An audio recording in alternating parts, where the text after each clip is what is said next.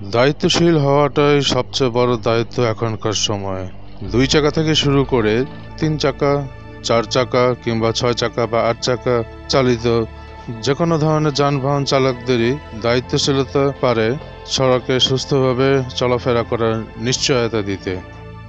অনুভব করুন, সবাইকে নিজের পরিবারের সদস্যের মতো করে।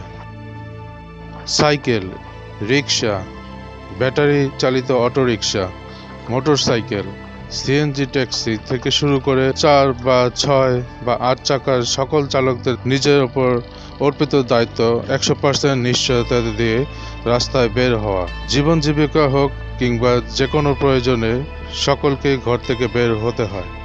এমনকি একজন পায়ে হাঁটা পথিককেও নিয়ম মেনে চলতে হয়। তারও জানা উচিত রাস্তা পারাপারের সঠিক নিয়ম। এটাও উপলব্ধি করা উচিত তার একটু ভুলের কারণে সে নিজের পরিবারে বিপদ নিয়ে আসতে পারে। ঠিক তেমনি রাস্তায় চলাচলরত যে কোনো বাহনের চালক সহ সেই বাহনের বাকি যাত্রীদেরকে বিপদে ফেলে দিতে পারে। অনুভব করুন সবাইকে নিজের পরিবারের সদস্যদের মতো করে। ঠিক তেমনি প্রত্যেকটা চালককেও বুদ্ধিমত্তার মাধ্যমে নিয়ম মেনে রাস্তায় বের হওয়া উচিত তার বাহন নিয়ে। মূলত ড্রাইভিং লাইসেন্সের যে যোগ্যতা নিয়ে এবং যে সকল নিয়মকানুন তাকে শেখানো হয়েছিল তা সুচারুরূপে পালন করার জন্য তার এক নাগরিক দায়িত্ব। অনুভব করুন সবাইকে নিজের পরিবারের সদস্যদের মতো করে। চলার পথে যে কোনো মানুষই যে কোনো ধরনের পরিস্থিতিতে পড়তে পারে। সেটাকে নেগেটিভভাবে গ্রহণ না করে বরং কীভাবে তাকে নিজের আপন মানুষের মতো বিচার করা যায় তা প্রতিনিয়ত প্রশিক্ষণের মাধ্যমে ইমানের দায়িত্ব। অনুভব করুন সবাইকে নিজের পরিবারের সদস্যদের মতো করে।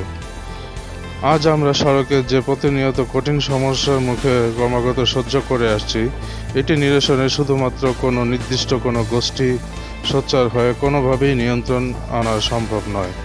অতীতও হয়নি, কোনোদিনও হবে না। বিশ্বাস করুন কিংবা নাই করুন।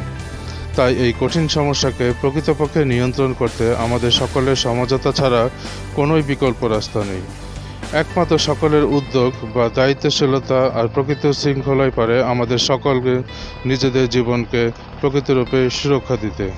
তাই অনুভব করুন, নিজের পরিবারের সদস্য মতো করে রাস্তার বাকি সবাইকে। আসুন, তবে চলার পথে দায়িত্বশীল হবার প্রতিজ্ঞাবদ্ধ হই। এত গণ সচেতনতা থাকা সত্ত্বেও তারপরও জানি কিছু মানুষ সচেতন হবে না।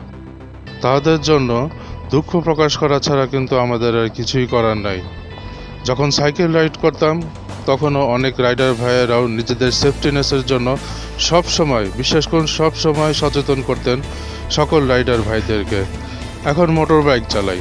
এখনও তরু ভাই কিংবা অন্যান্য যত মোটর ব্লগার ভাই আছেন, তারা সবাই কিন্তু সবাইকে সেফটি রাইড সেফটি গিয়ার ব্যবহার সব কিছু নিয়ম মেনে চলার জন্য সবসময় তাগাদা দিয়ে আসছেন। এতে একটা জিনিস চিন্তা করে দেখুন, এতে তাদের কি এমন স্বার্থ? একটাই কিন্তু স্বার্থ, স্বজাতিকে ভালোবাসা, আপন মনে করা ফিল করা। তদ্রুপ অনেকেই সচেতন হচ্ছেন শুধুমাত্র নিজের বিবেকের তাড়নায়। আর বিপরীতে যারা বিবেকহীনতায়, অসচেতনতায় ভুগছেন, তারা কখনোই শুধরাচ্ছেন না। তাদের জন্য দুঃখ প্রকাশ করা ছাড়া কী বা করার থাকে বলুন? আল্লাহ তাআলা তাহাদের ওপর রহমত বর্ষণ করুন।